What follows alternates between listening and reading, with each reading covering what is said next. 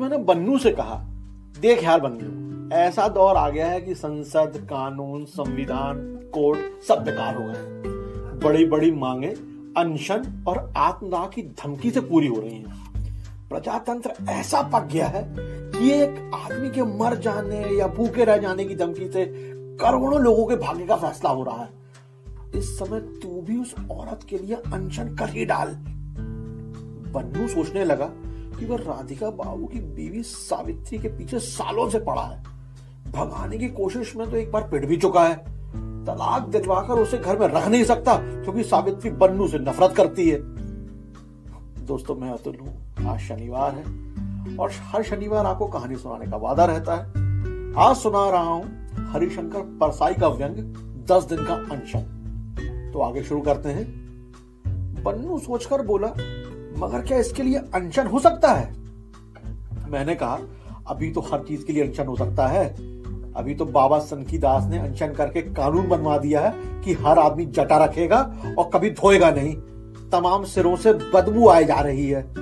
इन सबको देखे तो तेरी मांग बहुत छोटी है, वो भी एक औरत के लिए। तभी सुरेंद्र बोला, यार, कैसी बात करते हो तुम लोग? किसी की बीवी हड़पने के लिए कोई अनशन होगा? हमें कुछ तो शर्म आनी चाहिए लोग हंसेंगे। मैंने कहा, अरे यार, शर्म तो बड़े बड़े अनचनिया साधु संतों को नहीं आई। हम तो बहुत मामूली आदमी हैं। अब जहाँ तक हंसने का सवाल है, गोरक्षा आंदोलन पर सारी दुनिया के लोग इतना हंस चुके हैं कि उनका पेट दुखने लगा है। अब कम से कम दस साल तक तो कोई नहीं हंस सकता। बन्नू बोला तो क्या सफलता मिल जाएगी? मैंने कहा यह तो ईशु बनाने पे है। अच्छा बन गया तो औरत मिल जाएगी। हम लोगों को इस बारे में किसी एक्सपर्ट से कंसल्ट करना चाहिए। बाबा सनकी दास इस मामले के विशेषज्ञ हैं और उनकी अच्छी प्रैक्टिस भी चल रही है। उनके निर्देशन में इस वक्त चार आदमी अनशन कर भी रहे हैं। बाबा सनकी दास के यहाँ पहुँचे तो उन्होंने पूरा मामला सुनकर कहा, ठीक है, मैं इस मामले को हाथ में ले सकता हूँ, पर जैसा कहूँ वैसा करते जाना। तू आत्मदाह की धमकी दे सकता है। बन्नू काँप गया बोला, मुझे डर लगता है. सनकी दास बोले, जलना थोड़ी अरे ऐसे धमकी देना है. बन्नू बोला, मुझे तो उसके नाम से भी डर लगता है. अब बाबा बोले, एक काम कर, तू अनशन कर डाल, ईशु तो हम बना ही लेंगे. बन्नू बोला, मर तो नहीं जाऊँगा. बाबा ने कहा, चतुर खिलाड़ी मना नहीं करते बेटा, वे एक आँख मेडिकल रिपोर्ट पर और दूसरी मध्यस्थ पर रखते हैं। तुम चिंता मत करो, हम तुम्हें बचा लेंगे और वह औरत भी दिला देंगे। 11 जनवरी का दिन है। आज बन्नू आमरण अनशन पर बैठ गया है। टेंट में धूप दिए जल रहे हैं। एक पार्टी भजन गा रही है। सबको सन्मति दे भगवान। बाबा सनकी दास ने बन्नू के नाम से जो पंपलेट छपाकर बंटवाया है, वो बड़ा जोरदार उसमें बन्नू ने कहा है, मेरी आत्मा से पुकार उठ रही है कि मैं अधूरी हूँ। मेरा दूसरा खंड सावित्री में है। दोनों आत्मखंडों को मिलाकर एक करो या मुझे भी शरीर से मुक्त करो। मैं आत्मखंडों को मिलाने के लिए अच्छा पर बैठा हूँ। अगर सावित्री मुझे नहीं मिलती तो मैं इस आत्मखंड को अपनी नश्वर देह से मुक्त कर दूँगा। मैं सत्य पर हूँ, इसलिए निडर हूँ। यह सब देखकर सावित्री बाबा सनकी दास के पास आई और गुस्से में बोली, यह हराम ज़्यादा मेरे लिए अंचल पर बैठा है ना? बाबा बोले, देवी, उसे अपशब्द मत कहो। वह पवित्र अनशन पर बैठा है। पहले हरामजादा रहा होगा, अब नहीं। वह तो अनशन कर रहा है। सावित्री ने कहा, मगर मुझसे पूछा तो होता, मैं तो उस पर थूकती हूँ। बाबा बोले, देवी, तू तो ईशु है, और ईशु से थोड़ी पूछा जाता है। गोरक्षा आंदोलन वालों ने गाय से कहा पूछा था कि तेरी रक्षा के लिए आंदोलन करे या नहीं? मेरी सलाह है, अब तुम या तुम्हारा पति यहाँ ना आए। एक दो दिन में जनमत बन जाएगा। और तब तुम्हारे अपशब्द जनता बर्दाश्त नहीं करेगी। सावित्री भुनभुनाते हुए चली गई। बन्नू उदास हो गया। बाबा ने फिर समझाया, चिंता मत करो, अंत में तो सत्य ही जीतता। तेरह जनवरी। बन्नू भूख का बहुत कच्चा है। तीसरे दिन ही कराने लगा। पूछा, जयप्रकाश नारायण आए? मैंने कहा, वे पाँचवें या छठे दिन आते हैं। उनका नियम है, उनको सूचना दे दी गई है। बन्नू ने आँख बंद कर ली, बोला, भैया, जयप्रकाश बाबू को जल्दी बुला लाओ। आज कुछ पत्रकार भी आए थे। बड़ी दिमाग पच्ची करते रहे, पूछने लगे, उपवास का प्रयोजन कैसा है? बाबा ने कहा, अब प्रयोजन वयोजन नहीं देखा जाता। अब तो इसके प्राण बचाने की समस्या है। अनशन पर बैठना इतना बड़ा आत्म बलिदान है कि प्रयोजन भी पवित्र हो जाता है। कितने ही लोग दूसरे की बीवी को छीनना चाहते हैं, मगर उन्हें तरकीब नहीं पता। अगर अनशन सफल हो गया तो ये आदमी जनता का मार्गदर्शन करेगा। चौदह जनवरी का दिन, बन्नू और कमज़ोर हो गया है। अब वह अनशन तोड़ने की धमकी देने लगा। इससे तो हम लोगों का मुँह काला हो जाएगा। पर आज बाबा ने एक और कमाल कर दिया। किसी स्वामी रसानंद का लेख अखबारों में छपवा दिया। स्वामी जी ने कहा, मुझे तपस्या के कारण भूत और भविष्य दिखता है।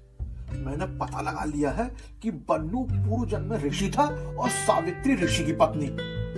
बन्नू का नाम उस जन्म में ऋषि वनमानुष था। उसने तीन हज़ार साल बाद अब नरदेह धारण की है। सावित्री का उससे जन्म जन्मांतर का संबंध है। यह घोर अधर्म है कि एक ऋषि की पत्नी को राधिका प्रसाद जैसा साधारण आदमी अपने घर में रखे। जनता से मेरा आग्रह है कि इस अधर्म को ना होने दे। लेकर बहुत अच्छा असर हुआ। कुछ लोग धर्म की जय हो। ऐसे नारे लगाते पाए गए। एक भीड़ तो राधिका बाबू के घर के सामने नारे लगा रही थी। राधिका प्रसाद पापी है। पापी का नाश हो, धर्म की जय हो। पंद्रह जनवरी का दिन। रात को राधिका बाबू के घर पर पत्थर फेंके गए। जनमत बन गया है। लोग यह कहते पाए गए। बेचारे को पाँच दिन हो गए हैं, भूखा पड़ा है। धन्य है इस निष्ठा को। उस पत्थर दिल का कलेजा नहीं पिघलता। कैसा बेशरम मर्द है उसका। बड़ा पाप है ऋषि की पत्नी को घर में रखना। ग्यारह सौभाग्यवतियों ने तो बन्नू को तिलक किया और आरती उतारी। बन्नू बहुत खुश हो गया। सौभाग्यवतियों को देखकर उसका जीव उछलने सा लगता है। इसी दिन शाम को जयप्रकाश नारायण भी आ गए। कुछ नाराज़ से थे, कहने लगे, मैं किस किस के प्राण बचाऊं? मेरा क्या यही धंधा है? रोज कोई अनशन में बैठ जाता है और चिल्लाता है, प्राण बचाओ। अरे, प्राण ही बचाना है तो खाना क्यों नहीं खा लेता? दूसरे की बीवी छीनने के लिए अनशन जैसे पवित्र अस्त्र का इस्तेमाल कर रहे हैं। हमने समझाया आत्मा पुकार उठी थी। वे शांत हुए और बोले, अगर आत्मा की बात है तो मैं इसमें हाथ डालूँगा।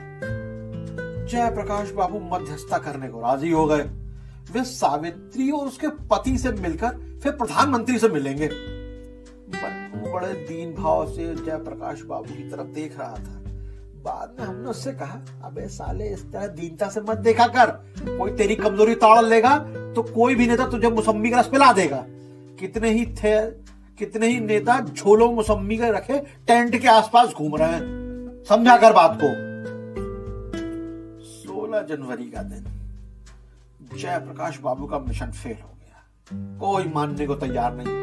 प्रधानमंत्री ने कहा, हमारी बन्नू के साथ सहानुभूति है, पर हम कुछ कर नहीं सकते। उससे उपवास तोड़वाओ, तब शांति वार्ता द्वारा कोई समस्या का ढूंढा जाएगा। बाबा सनकी दास निराश नहीं हुए। उन्होंने कहा पहले सब मांग को नामंजूर करते हैं, यही पता है। अब आंदोलन तेज करो। अखबारों में छपवाओ कि बन्नू की पेशाब से काफ़ी एसीटोन आने लगा है। एसीटोन एक रसायन होता है। बाबा को थोड़ा रसायन का ज्ञान भी है। बन्नू की हालत चिंताजनक है। सरकार बैठे बैठे क्या देख रही है? बाबा अद्भुत किस्म के आदमी है। उनके दिमाग में कितनी तरकीबें रहती हैं। आप कहते हैं, आंदोलन में जातिवाद का पुट देने का मौका आ गया है। बन्नू ब्राह्मण है और राधिका प्रसाद कायस्थ। ब्राह्मणों को भड़काओ और इधर कायस्थों को। उधर राधिका बाबू की तरफ़ से प्रस्ताव आया कि बन्नू सावित्री से राखी बंधवा ले। सबने एक सुर में नामंजूर कर दिया। सत्रह जनवरी। आज के अखबारों में शीर्षक है, बन्नू के प्राण बचाओ, उसकी हालत चिंताजनक है। बन्नू की मृत्यु के भयंकर परिणाम होंगे। उधर ब्राह्मण सभा के मंत्री का बयान छप गया। उन्होंने इसे ब्राह्मणों की इज़्ज़त का मामला बना लिया। सीधी कार्रवाई की धमकी दे डाली। सनकी दास का भी यही कहना है कि कल या परसों तक कर्फ्यू लगवा दिया जाना चाहिए। दफ़ा 144 तुरंत लग जाए। इससे केस मज़बूत हो जाएगा। 18 जनवरी। रात को ब्राह्मणों और कायस्थों के घरों पर पत्थर फेंकवाए गए। सुबह ब्राह्मणों और कायस्थों के दो दलों में जमकर पथराव हुआ। शहर में दफ़ा 144 लग गई है। प्रतिनिधिमंडल प्रधानमंत्री से मिला। उन्होंने कहा, इसमें कुछ कानूनी अड़चने हैं, विवाह कानून में संशोधन करना पड़ेगा। हमने कहा तो कर दीजिए, अध्यादेश जारी करवा दीजिए। अगर बन्नू मर गया तो सारे देश में आग लग जाएगी। प्रधानमंत्री बोले, पहले अनशन तो तोड़वाओ। हमने कहा सरकार सैद्धांतिक रूप से मांग को स्वीकार कर ले और एक कमेटी बैठा दे, जो रास्ता बताए कि वह औरत बन्नू को कैसे मिल सकती है। सरकार अभी स्थिति को देख रही है। बन्नू को अभी कुछ और कष्ट भोगना होगा। वार्ता में डेडलॉक जैसा आ गया है। रात को हम लोगों ने पुलिस चौकी पर पत्थर फेंकवा दिए। इसका कुछ अच्छा असर हुआ। उन्नीस जनवरी का दिन।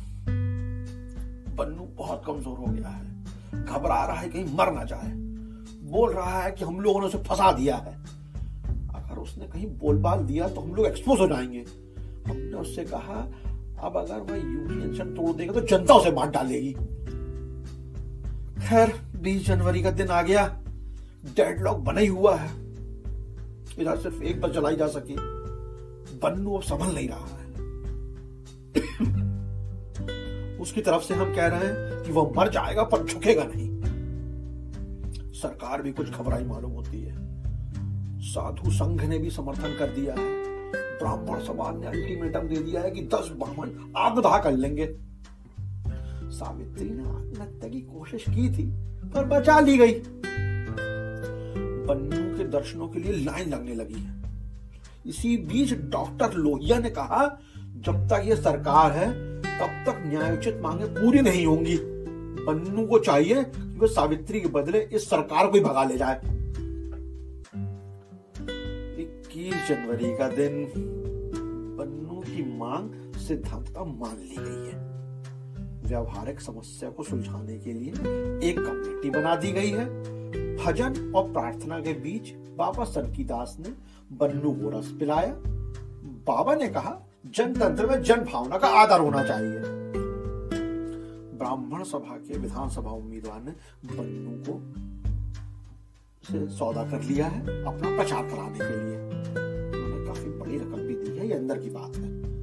लोगों के पैर पड़ते हुए बन्नू ने बहुत ही दीनता से कहा, सब ईश्वर की इच्छा से हुआ है। मैं तो उसका माध्यम हूँ। ज़ोर ज़ोर से नारे लगे, सत्य की जय, धर्म की जय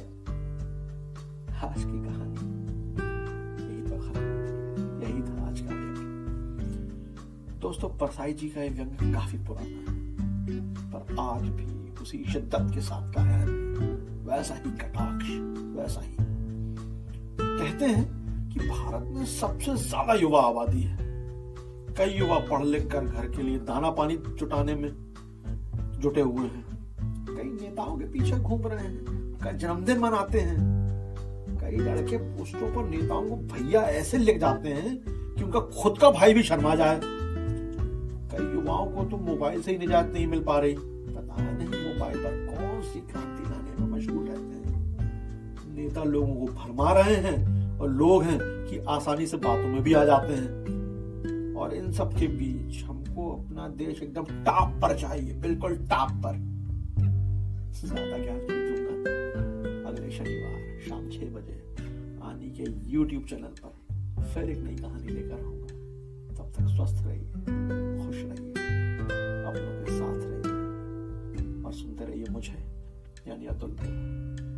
जय Hind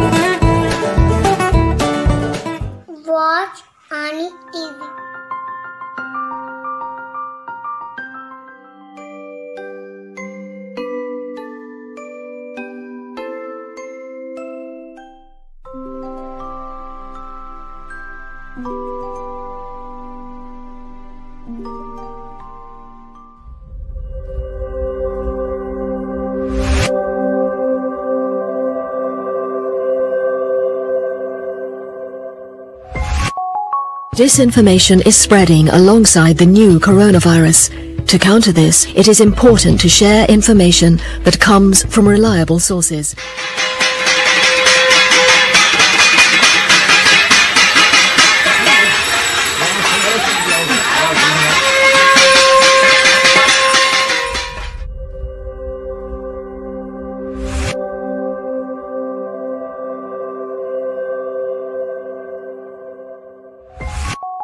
Disinformation is spreading alongside the new coronavirus. To counter this, it is important to share information that comes from reliable sources.